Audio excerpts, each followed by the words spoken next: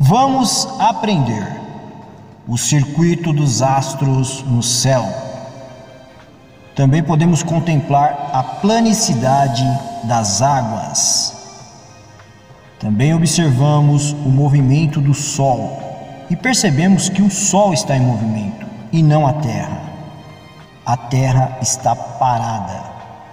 Vemos também o movimento das estrelas e o movimento da Lua.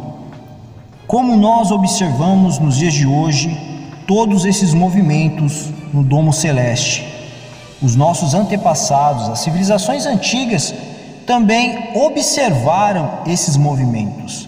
Por isso que eles acreditavam em uma terra plana, parada, aonde havia um domo sobre ela, aonde acontece o circuito dos astros ao qual nós vemos nos dias de hoje. Tudo isso foi criado por um ser inteligente, o nosso Criador.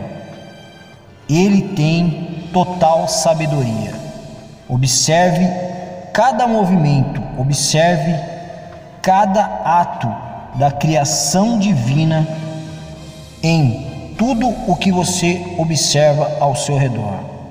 Então, que você venha analisar cada ponto da criação e ficar do lado de quem está certo.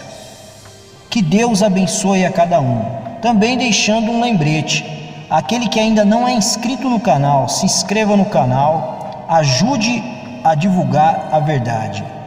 E que Deus abençoe a cada um de nós. A criação de Deus, ela é perfeita e a terra continua plana. Amém e amém.